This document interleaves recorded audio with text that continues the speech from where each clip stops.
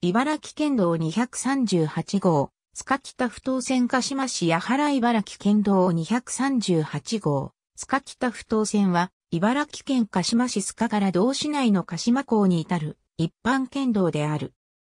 鹿島市、須賀の茨城県道18号、茨城鹿島線より、分岐南下し、Y 字型の掘り込み港である、鹿島港の北不当地区に至って、茨城県道239号青木崎線と接続する路線。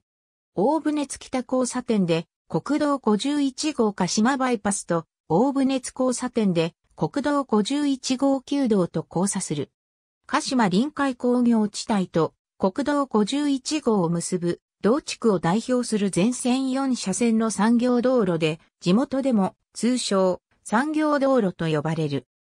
1974年10月4日、茨城県は住友金属工業鹿島製鉄所を代表とする鹿島港の北航路周辺の工業団地と国道51号を結ぶ産業道路の整備を行うことに伴い、新規追加の県道路線として、起点を鹿島町大あざスカ、終点を鹿島町大あざ、泉川を区間とする県道スカ北不当線が路線認定される。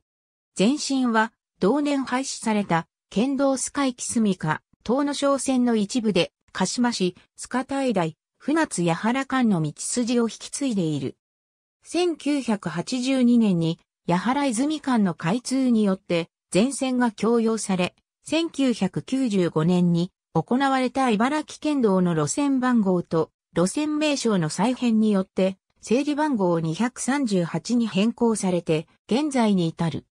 道路法の規定に基づき、鹿島市つまぎ、同志大船津間は緊急輸送道路として機能を維持するため災害発生時の被害拡大防止を目的に、道路用地内に電柱を立てることが制限されている。福音、曲線半径、勾配その他道路の状況により最大積載4トンの普通貨物自動車が通行できない区間。国際海上コンテナの運搬用のセミトレーラ連結者のこと。ありがとうございます。